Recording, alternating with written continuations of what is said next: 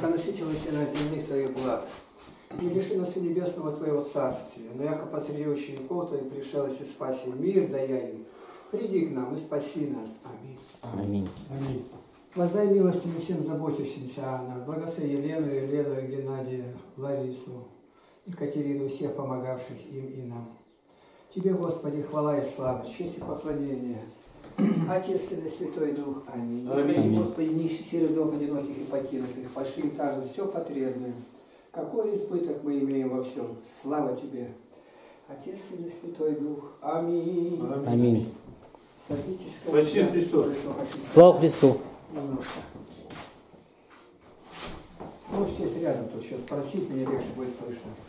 Дело в том, что редкие события такие бывают, что венчание, все по, по форме, все по И вот я вижу священники, они совсем не смотрят за тем, как одеты, кто пришел, как будто их это не касается. Почему? У меня один ответ. Ревности одели Божьим нет. Вот в этом вся суть. Смотришь, у другой, я конкретно не говорю о ком, платок сполз или нет ее, или грудь открыта, руки открыты. И притом это вот все прогресс. У меня было, кажется, теперь я могу ошибиться, или в Сакраменто это было, или в Вашингтоне. Ну, я свободен был, пошел, думаю, похожу я там по магазинам, меня интересует музей и зоопарк. Ну, оказалось, что зоопарк перетянул все. Живые бегемоты, и как они. Но дело в чем. Я, сестра одна выходила замуж, я решил узнать, а сколько же стоит свадебное платье? Сразу молодой человек, там, может быть, лет 25 ему, он спросил и сразу пошел. И я говорю, так рукава-то у нее какие? До локтей? Нет, чтобы закрывала, и грудь закрыта была. Вот так, стойте здесь. Он сразу раз пошел, внизу звонит в Нью-Йорк, звонит в Сан-Франциско. Я уже не рад, у меня денег-то нету. Я просто спросил, нет, я потенциальный покупатель. Вот так вот делается все. Я вернусь к этому вопросу покупателя. И он везде звонит, так, ваш адрес, куда звонить мне? А у меня есть телефона-то нету.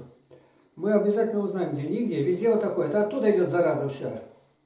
Это где-то в марте месяце 2000 года всю страну российскую раздели. Почему? Сатана прекрасно знает, какую роль играет женщина. Через нее все мы умираем. Писание так говорит. Через нее. О, Адам, где ты был? Почему ты рядом не был с ней? Она, она сразу узнает, где в кустах, где в траве змей. И она этим змеиным ядом пропитана будет. И она будет мстить и везде. Поэтому особое внимание. Вот мне сейчас там ролик кто-то ставит или тип, кто-то, не знаю как, православный, нет, христианин хвалит мусульман. И меня показывают. Ну, я хвалю как? А, а женщине, как они заботятся. А она не будет как попало. Без платка ни одной не... Я где был, в других странах, даже говорить не надо. Но она бывает там тощая, полная, бывает другой видно, что черная, арабка какая-то. Но она одета, хиджаб у нее, как вот у нас два платка, повойник тут и дальше платок.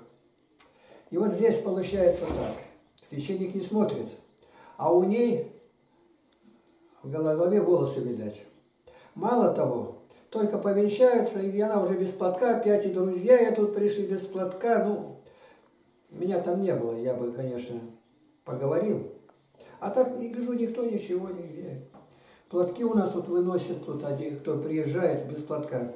В лагерь приехала, она в брюках, и кто? Пом прокурора. Ничего, в лагерь заходить нельзя.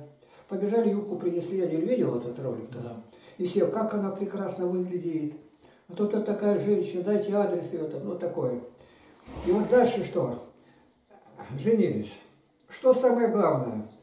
Да, ну, не помнит ничего, что священник говорил, там, бормотал, или как, как угодно назови, но как Петр Мещеринов говорит, 85% это дым у нас идет мимо, мы его не знаем. Что на там говорится, в этом тексте-то? Ну и здесь также, он знает только двое, одна плоть. Теперь вот это ему самое главное. Двое, одна плоть. А что, можно этому научиться? Можно. А где? В Библии. В Библии. В Библии нигде нету, чтобы было по-другому, что дальше у них сегодня происходит. А дальше как?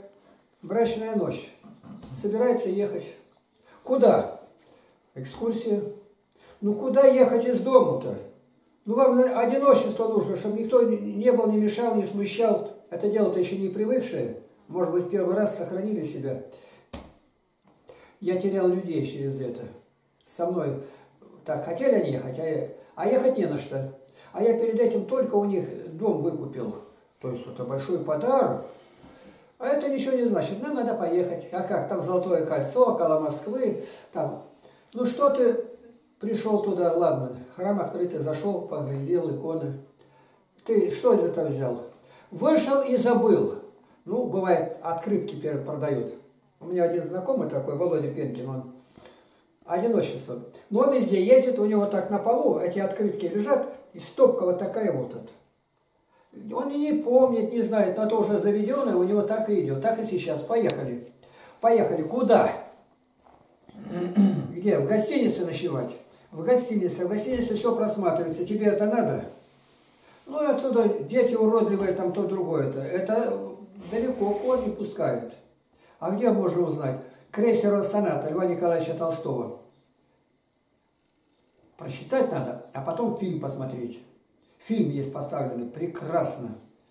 Там говорится, какой артист, все, и жена говорит, я была задействована, я, потому что режиссер очень привередливый был, и говорил, дословно говорить, а не так, как выдумал, прочитал. Вот как написал Лев Николаевич, так и говорите. Ну, я, говорю, ему там как-то сделала так, там переписывал, показывал, а он в это время говорил и такими словами, Янковский, кажется. Это дорогое удовольствие. Я потерял людей через это. Потерял. Не просто потерял, они врагами сделались. Проходят годы, вырастают дети. Дети, там, из детей там двое моих крестники. Они всех натравили против меня. Я никакой власти над ними не имею. То есть ты смотри, куда идет. Они ни разу в лагере не были. Это не все. Теперь они дальше, где живут, идут. Кто звонит или что-то, они капают и капают. Там все покрыто из змеиного гнезда. Да простит Господь. А ничего нету, я не должен им. Я сказал, ну вы побыли, проехали, запомнить не можешь. Зачем? За меня деньги где-то платили, сказали, мы купили вам билеты в Иерусалиме, чтобы побыли. А зачем?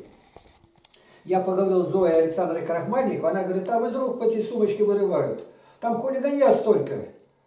Я теперь поеду туда, на вокзалы где-то буду там в аэродромах, в аэропортах тоску наводить на людей. Что я там возьму? Ну, ездят они там-то, там-то, поднимаются на гору, вот тут-то преображение. Ну, посмотрел и все забыл. Открытку хоть иногда посмотришь как-то, фильм снят еще больше, но это никак не отражается на спасении. И вот они сейчас, молодожены, в некоем царстве, в некотором государстве, ну, может быть, где-то недавно тоже было венчание, поехали. И что они получат? Кроме траты, ничего нету. В это время надо молиться, быть внимательным, чтобы ребенок, если будет, заведется. Это об этом речи даже никакой нету. Неусыпное соединение. Соединение разорванное недолгое, минутное. Вот это крейсера соната подробно, по частям все показывает. Показывает как. А как сделать? Как меня никто не спрашивает. А я вот как говорю, я так бы и сказал. Молодоженам говорите, никуда не ездить. Им одиночество нужно. Лучше собственной палатки ничего нету. Собственная палатка, День тут пробыли, говорит, прорыбачили, проходили по полям, цветы порвали, там что, посмотрели его имущество, что он имеет, какие лимузины, какие у него вертолеты, там, ну, богатый жених, к примеру. Ты покажи, где ночевать будем, самое главное. Если это стоит не во главе угла, а оно, в первую очередь, для чего женится-то? Главная тревога бывает, жена говорит, я забеременела. Вот теперь вопрос, рожать или убить? Паника начинается. А так как будто бы нападает кто-то с атомной бомбой. Ну, я говорю, потому что конца края этим бедам нету. Зачем ехать? Если я с ней буду спрашивать, они ничего не ответят. Ну, посмотреть. Посмотреть-то можно сегодня, тем более в интернете, только заряди золотое кольцо перед тобой. Посмотри. храмы. Сегодня так делают храм, и ты поворачиваешь, он поворачивается, перед тобой картинки идут, иконы. Ну все у тебя, завтра еще можешь один раз посмотреть. А вот там по канапке пройти у Серафима. Да было ли это у Серафима-то? Ведь о, о Серафиме столько написано. Вот Петр и Павел, день Петра и Павла, 18 страниц Жития святых. Серафим Саровский, 51. 51. Что интересно, специально из архиереев, а может быть и священников там где-то, составляется какая-то команда, так назову простыми словами, которые решают, канонизировать или нет. Серафима никто не хотел канонизировать, там еще нету. А царь сказал канонизировать. Все. И поэтому это царское повеление мирского человека готово уйти из жизни. А сегодня на это они обязательно туда поехать надо. Надо быть там, посмотреть. Там канавка есть, которая Антихрист не перейдет. Да он перешел эту канавку уже 50 лет назад. Там атомные какие-то исследования идут и прочее. Оно давно уже там еще это. Посмотрел на... Его Голгофа не остановила. Он на Голгофе еще приплясывал. Дьявол. Сойди с креста. А тут какая-то канавка. Серафим знать про нее, может быть, еще не знал. Я попутно это все показываю. И что нужно? Позаботиться о себе. Ну, взять неделю, отпуск. А дальше-то? Днем бываешь. У нас в армии был один, и видно, что женился. Ну, веселый такой парень. Он говорит, женился, у меня, я учился, у меня все больше было где-то. Я только жду, когда домой вернусь. Ну, жена мне не рада. Ну, сильный, крепкий парень. Ему гарем нужен, а тут одна она терпит, конечно. Я, говорит, каждый день только думаю, думаю, как я вернусь. Все, опустошенный. Если показать четыре вопроса, которые на каждое событие должны быть. Первое, что я ищу? Духовного, телесного, временного или вечного?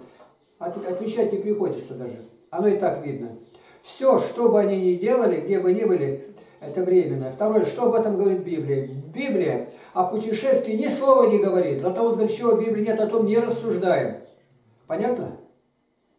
Жития святых, где читаем, тоже мы этого не видим, чтобы они путешествовать пошли. Куда? Кому? По храмам?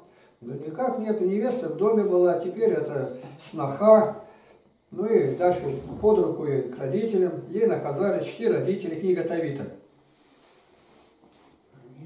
В добротолюбии даже там намека на это нет. Откуда это пошло? Что молодожены должны отдельно. Ну, я считаю, журнал, небольшая такая юридическая, как бы сказать, не брошюрка, ну, книжечка. Там, может быть, страниц 150. И вот выступает доктор юридических наук военное звание, чуть не полковник, кажется, у него. Дочь замуж-то вышла и пошли это. И навстречу тот, кому эта дочь понравилась. Он тут же убил жениха, уже мужа. Я, говорит, ничего не могу сделать. Я бы его на кусочки разрезал. Да разве это наш закон был? В Китае, в Библии, везде говорится, смерть, которую принес, должен умереть. Я не за смерть, а к тому, что, что выход-то покажите. Нет выхода. А как рядом, тут все молятся, мы целый день их видим. Вот они были в отдельном домике, и то даже не одинок был. Тут рядом люди о палатках, тем более в палатках. Там крикнул только, 20 человек выскочили. Вот как. И поэтому, поэтому, когда мне говорят, я говорю, а где они? Ну вот, а поехали. Так, второй вопрос. Третье. Что об этом говорит совесть? А совесть, если он знал, женщин, ну, блудил, то дальше он смотреть на женщину просто так не может. Это после бала у Толстого написано. Он раздевает ее глазами своими. Он не может ни на сестру, ни на мать смотреть, чтобы не подумать об этом. Вот так вот с ноги, с, с, этой, с пятки, и вот так вот человек пере, перекатывается. И выше, когда вот еще делаешь. А что я делаю? Ну, зачем ты так делал? Не знаю. Это блудная лихорадка, это мое выражение. А как вы узнали? Ну, до чего бы ты касался, так у тебя весь зад трясся. А я, говорит, всю службу, а служба длинная, два часа в субботу, всю службу думал о блуде. Ты понял? По поднятию ресниц об реснице узнается наклонность к блуду. Зачем бы это было написано в Библии? По поднятию. Какая походка человек, как идет, там ничего можешь не, не ждать. Так, третий вопрос – совесть. Она сожженная. Мало того, может быть наркотикой, может чай там. Это все наркотики, какао, заварки эти. И третий, не будет ли этим соблазном? Ну, четвертый вопрос, может быть, не будет. А может быть, будет. Почему? Да потому что люди-то настолько испорчены, они самое плохое прославляют. А зато вот так. Я говорю, почему с тобой такое случилось, ты этот разум потерял? Потому что хвалился, сколько женщин у тебя было. У нас с одним они стали говорить, сколько у тебя было, тот говорит, 18, а тот, а я и не помню. И что? Ум прибавило это? Нет. А. Блуд и компьютерные игры сжирают мозги полностью. Вот такая, брат, история. Я вот сидел сейчас за завтраком-то и думал, никто не подошел, не спросил, то есть объект не нужен со своим опытом, а я бы поделился, сказал это, и может быть, вот так. Кто-то бы прислушался где-то. Я вас спрошу, Николай Георгиевич, да? то, что я сказал, как вы думаете, так это или не так? А то можно в жизни, в жизни, в жизни другое показывает. Молодые сейчас стараются жить отдельно. Вот. И это часто бывает на пользу. Когда живут молодые и старые, тут начинается невестка, невестка э, с, этой, с матерью, с матерью э, жениха, мужа начинают скандалить. Или, или молодой начинает с тестем скандалить. Тесть устанавливает свои порядки, а он хочет сам делать. Сейчас... А как раньше было в России? Не знаю. Определенно Я не жил. считаем, не считаем. жил. Никто не отделялся, жили вместе. У нас, говорит, только 13 взрослых было. Главное это, никто устанавливает. Ему не надо устанавливать, ты пришел в восстановленный порядок. Об этом пишут и писатели. И так и понятно, там опыт. А где она, дочь? Да она пришла, родная дочь стала. И спорить, как сейчас нет этого, она слова не скажет. Она только мама, мамочка, подскажи, как здесь сделать надо, чтобы было так, как вы делаете. Я был на Украине, посмотрел, там такие дома, я говорю, зачем? Да женился, отделился, строили. А зачем отошли? А кто с детьми водиться будет? Детсадик, он не воспитает тебе. Здесь же рядом, она, бабка-то или кто теперь, теперь будет, она и занимается. Она ведет за руку дальше. А вы свободны. И на работе, и даже коснется куда-то поехать. Все, в одном доме жили. Я вот разговаривал со своими, как отдельный дом, говорит, не было этого. И даже не знали они. Когда семья уже большая, тогда начинали. Об этом мы в разных книгах читаем. И на родственниках Якуба Колоса. То есть я оттуда кое-что беру, из твоей древней литературы. Почему? Опыт. И нигде мы видим, не отделялись. Вот он взял другую невесту. И она там ропщит, но она подсказывает ему. Мать заботилась о том, чтобы получить благословение, Якова получил. А Исаак не думал, нет. И что, родители? И вот родители. Так это, я говорю так, как было. Сегодня этого нет. И результат, сейчас скажу. Результат. В России 13 год, перед войной. Каждый год с чистой прибыли было 3-5 миллионов. За счетом, что умерли которые. С того было 100 миллионов, теперь 103, 105. Каждый год, у нас каждый год миллион отбрасывается наоборот. Еще вот мы считали здесь, сколько там разводов-то. Первые 4 года 84,6% разводов. Разводов. А тогда они даже не слышали. Вот отсюда вывод надо сделать, что прислушиваться, а как тогда было. А сколько, меня интересует, сколько у мусульман, а, это написала мне одна наша сестра, она там среди них живет и говорит, как вот, наше дело не рожать, только бы убежать, не так-то. Его нашли в другом государстве. Они его там так поучили, что две недели на задницу не сядет. Домой привезли, это твоя жена, твоя. Больше тебя искать никто не будет. Дадим указание, занесем тебя в карточку, там ты и будешь валяться, дохлая собака. Твои дети подними на ноги.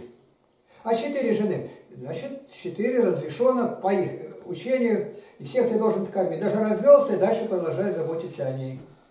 А вот тут ничего нету. Нас, говорит, объединяет общее хозяйство. Какое хозяйство, когда его нет хозяйства? Ну, кошка есть. Даже голубей-то почти ни у кого нету. Ну, собака может быть. Какое хозяйство-то? То есть закон потворствует вот этим разводам. А уж про аборты говорить не надо. За перестройку только в Российской Федерации 120 миллионов абортов. А мне говорят, устаревшие данные. Сегодня данные показывают намного больше. Так 120 миллионов это государство. В женской вагине захлебывается. Еще учат как. Ну, маленько-то остановитесь, взгляните, же помирать будем когда-то. Ничего нет, ничего нет. А ты спроси, Кожедубы, другие где рождались? Где Ломоносовы рождались? Где они сегодня, эти Ломоносовы? Где Пушкины? Ну, сегодня-то сравнить-то оттуда, где Гоголи? Только сегодня такие Гоголи, чтобы нас не трогали. А священнику, а священник что говорит, лишь бы ходила в руках ходила. Мы заброшенная нация. Более ненавидимой нации в мире нет, чем русские. Это мне сообщают те, где получают путевки куда-то. Первый вопрос задаю даже в Германии, там во Франции. Я еду на такой курорт, а там русские будут? Да, они свободные. Будут или не будут? Ну, будут, наверное. Так, билет обратно отдает. Я не поеду туда. А почему? Если русский она приехала, значит, только приехала туда, чтобы сегодня же у нее было три мужа. Три мужа. Если русский мужик, там это все, ну не такие, а новые русские-то, чтобы четыре бабы было. Это отдых. Она оттуда в щепку раз, раздавленные приезжают. У нас была девочка одна. Ну, они ее с собой брали где-то. Они где? Оставят Лизонькую. И она целый день одна там копошится где-то, а там и в шее чего только нету-то. А они каждый блудит в своей стороне. И она, мать ее была членом нашей общины, она ушла. Муж ее бросил, и она тут же выскочила за другого. И ты еще не поделаешь с этой козой. Я не случайно сказал козой, потому что тут смысл заложен. Вот, брат дорогой, как. Это не просто так. Теперь смотри. Вот считаем, считаем мы, опять же обращаюсь к Олегу Николаевичу «Потуши огонь». Там, кажется, статья так называется. В доме жили, поссорили между собой два хозяина, один другого поджег. И что из этого было? А сегодня даже этого нет. Они в бетонах живут.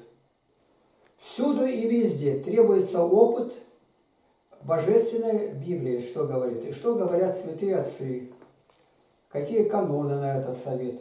Канонов о том, чтобы ездить молодым где-то, нет такого. И в житиях святых нигде нету. А это 1173 биографии. 1173. Я вот нашел, к чему пришел, о чем говорю.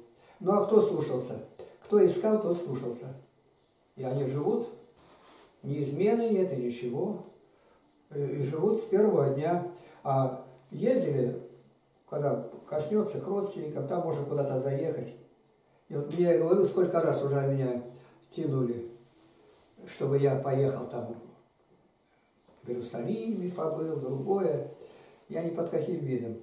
Притом люди расположенные, очень даже. В Америке, когда я был, приглашали, меня туда Америка и пригласила, заплатили. Так у меня там сколько выступлений было, близкие отношения с митрополитом Виталием установлены, просто родные и близкие. И мне куда-то уйти, если Господь даст спасение, до конца быть верным, я его встречу и скажу, а я ушел туда-то. Нет, где я принят, и там и умру. Помоги, Господи. Вот такое дело, брат. Все. Давай раз Приведи нас, хозяин, на какую работу. Николай Георгиевич хотел слово сказать. Так что сказать? Говори. В советское время был фильм. Показывали мечту. Вот то, о чем вы говорили. Там был отец, там был дед, там был прадед, жили одной семьей, ходили на завод, один стал директором, другой начальником, и, и у них семьи были, и внуки, и все одной семьей. Это показали как мечту. И получилось что? Прадед сказал, цыц! И что? И все замолкли. Цыц! Это была мечта показана. И эта мечта имеет отражение в Библии. В Библии. Если люди верующие и создали церковь семейную, тогда у них получится такое семейное сожительство. А коли каждый тянет на свою сторону, здесь сожительство не произошло. Все стараются молодые жить отдельно в наше время. Об этом надо говорить, надо. Вот. Может быть, до кого-то и дойдет, может быть. Но этого нету. А Тихий Дон Шолохова Михаила Александровича поставленный очень прекрасно. Считать ты не найдешь, а напильно там. Из одной чашки сидят все, едят каждый кусочек, как вот мы показываем. И живут все вместе. Да, там было и грех был, но жили вместе. Ну, И отец командовал, слово сказал, все, а он стал восставать, и кончилось ничем, развалом, начал блудить. И Гришка Мерехов. Вот суть-то в чем. Так отец-то невестку изнасиловал. Где? Ну как где? Где? где? Дома у себя. Ну, где, где? Откуда это взято? Откуда вы взяли это? Из произведения какого-то? Произведение Шолохова. Когда, деньги- когда ушел на войну, это ушел, невестка осталась. Вот. А тесть изнасиловал свою... Нет такого там. Ну как нет? Нету. Ну как нет? Ну, как нету? Если нету, вы мне по- не покажете, это возьмите, прочитайте. Ну показали не было, его взяли, все. Фильме. Он изменял, и Гришка Мелехов-то, он изменял. А отец очень строгий был. Кто-то изнасиловал. Вы взяли из другого. Это Ну это Шолохова там. Министр культуры, у Ленина был такой, он об этом говорит. Я стоял в храме, там, где Иоанн Кронштадтский, и купец кричал, каялись открыто. Я изнасиловал родную дочь. Вот откуда это взято. Нет. Ну, ну ладно. Я, это, Это, это повсеместно бывает. Это бывает. Нет, ты тем более изнасиловал. Да, Даже, даже не изнасиловал. считал, уж я сколько литературы перемолотил, кубометры. Ни в одном месте этого нет. Бывал там, настаивал на своем, есть такие там, снохачество называется. Но этого нет. Это вы могли почитать хмель. Там хмели там написано такое. Даже, даже образ этого э, тестя, тестя образ, он хромой такой. Да. И Да, фильм. доченька не называл. Он своего сына Гришку ты костылем лупил. Ну. Он о ней беспокоился, как о родной дочери не беспокоится. Не знаю, сюжет, мы если на сюжет, 100% этого если, ошиблись. не, если будет сюжет, Нет. если я найду, я покажу. Нигде не сюжет. найдете это, ни в книге, ни в фильме этого нету. Ну в фильме есть, ну как же нет? А вы давно в это верите, что вот про что говорите? То, что показывают, да, Ну, возможно, смотрели, это было. может, это что-то забыли. Ну ты Нет видел этого? фильм Шолохова? А? Нет, нет, Давай. я не видел. Я не видел. Нет этого. Он о ней заботился, сказать даже невозможно как. Он пришел хром- хромой, и он доченька, доченька, там даже в мыслях этого нету. Зачем это придумывать? Даже намека тысячной доли процента нету. Ну давайте. Не было этого. Не было. Это которые жили где-то там, там-то мог- могло быть у кого-то, но здесь произведения там нету. Ну и, иначе оно не соответствовало бы действительности. Все на этом. Расходимся. Ох, слава тебе.